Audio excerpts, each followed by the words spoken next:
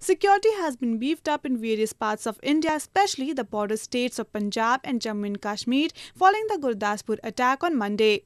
A security alert has also been sounded in the parliament premises, with security forces deployed at the site in the wake of the Gurdaspur terror attack.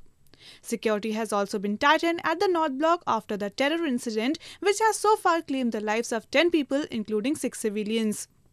Meanwhile, the Special Forces team has reached the location of the terror attack, which has been cordoned off. Also, a major railway tragedy was averted in Punjab after five live bombs were found at Dinanagar Pathankot railway track. Bomb disposal teams have reached the spot and efforts are on to dispose them. The bombs were carefully wired to the railway track at a small bridge near Parmanand railway station 5 kilometers from Dinanagar. From various ANI bureaus.